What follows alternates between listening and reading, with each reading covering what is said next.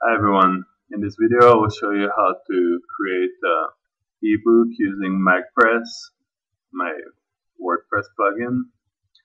So after installing it, I'll go to ebook creation, which is the first step. And that's where you can choose the template you want to use for your PDF file.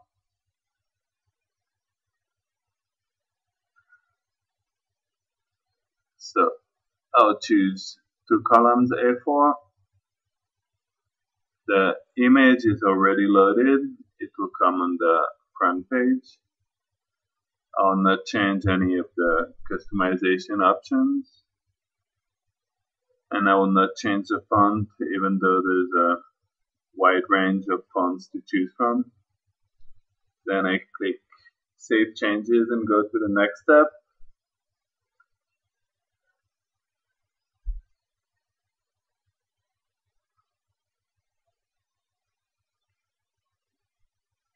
On the next step, I'll be able to filter out all the articles I want to include.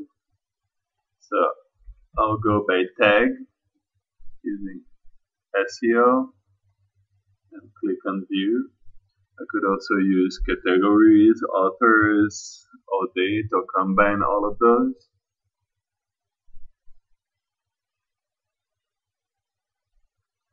And here I have a series of articles I wrote about SEO in 2011. So, PDF name, I'll choose SEO for designers, which was the title of the series.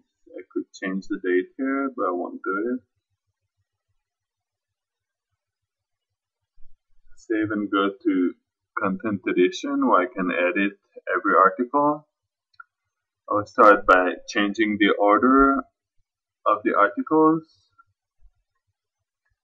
By entering a number here and this well, the three I could avoid doing but anyway here it is. Save order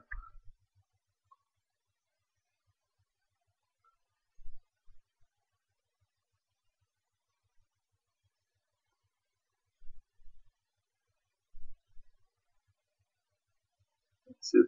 Everything is in the right order. I could publish it, but I will just show you the editing functions. So for each article, I could choose some of the settings I chose before. I'll not do it here. Or add a page break, as you could see. And here I show you a bit of editing.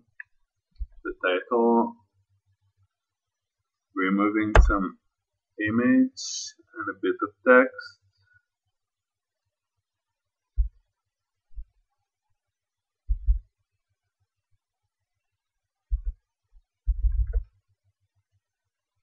Remove some formatting. As you can see, it's exactly the same editor as the one you used to use in WordPress, so it shouldn't pose any problem to use it here. Save. I could do all the other articles, but I won't waste any time on it for a demo. So I just go to preview your ebook which will take us to a in-browser preview of the ebook.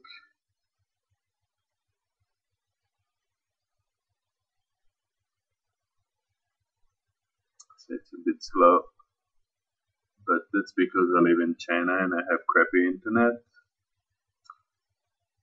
And it's coming.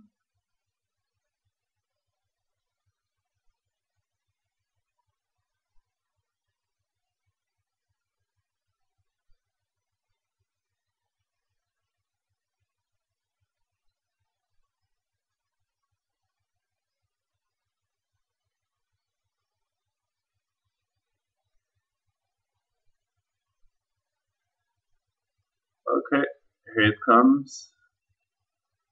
You can see the cover with the image I chose before. It's a 17 pages ebook.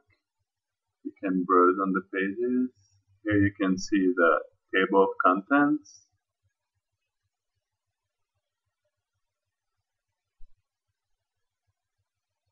The first page And do the whole ebook, but you can see that it's pretty well laid out and quite good. You have a page number at the bottom, so if you're happy with it, you can just go ahead and publish a post about the ebook, which will take you to a custom post format page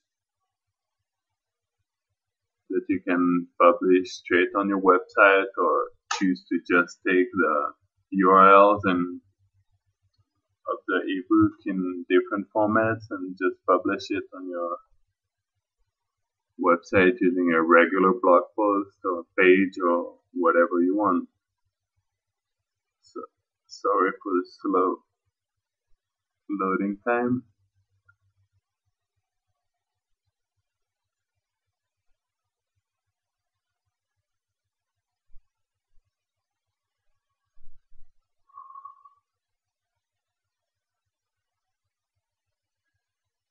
That's why you don't come live in China when you're a web designer or web developer.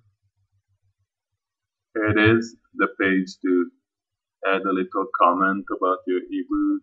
You have all the ebooks URLs and you can include it in your regular categories if you want. So that's it.